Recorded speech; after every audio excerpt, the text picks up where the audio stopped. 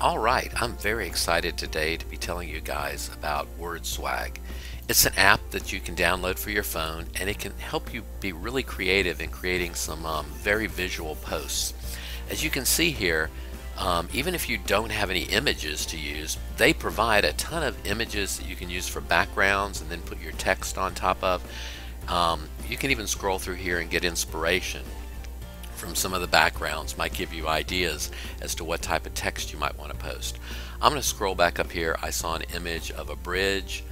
Um, I like this one because it has some fog over on the right hand side so I'm going to choose it and that'll give me place to put my text. First I'm going to crop it. You notice the cropping tools there. It allows you to crop it perfectly for whatever social media format you plan to use. Um, so go ahead and crop it and then we're going to put some text in. Alright, there we go. And now I'm going to click here to put some text in. And you notice what you're not just choosing a font, but you're actually choosing a complete style for the text, which is really neat. Over here on the left, um, I'm actually just choosing random quotes. By clicking on these various tabs over here on the left, you're able to select quotes and you can just pop them in. If you click on the same um, selection a couple of times, you're going to get various quotes from that one particular type of, of quote. So you can use this for um, um, just actually, if you don't have anything you want to say, go in here and just get inspired.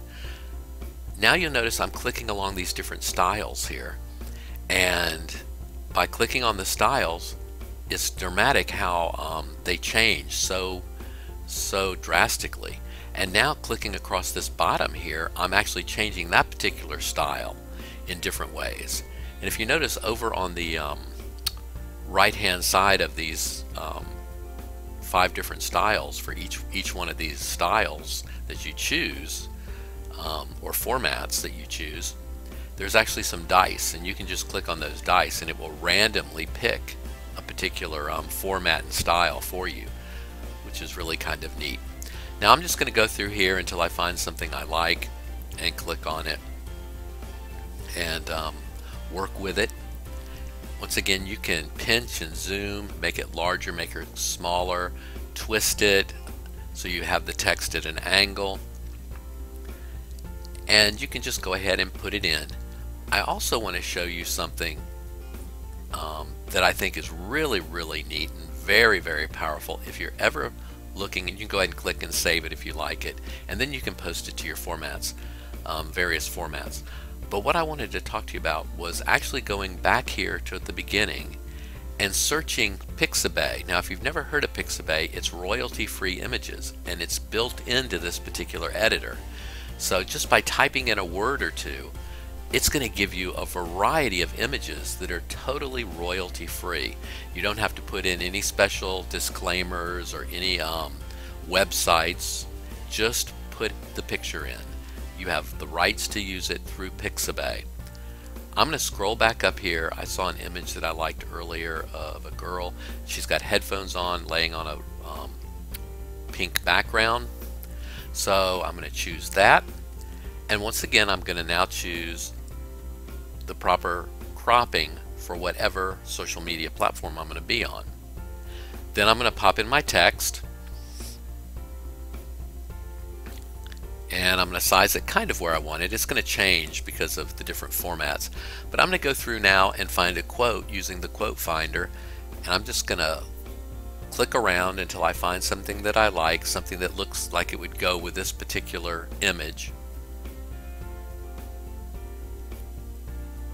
And as soon as I find that I will pop it into place. There we go. And now you notice it has kind of a light pink. So I'm going to end up changing my colors so that it stands out a little bit. But first I just want to get my text in there where I want it to be and in the style that I want it to be. Here are all the different colors that you can choose from. You can choose ones with multiple colors or you can choose a single color.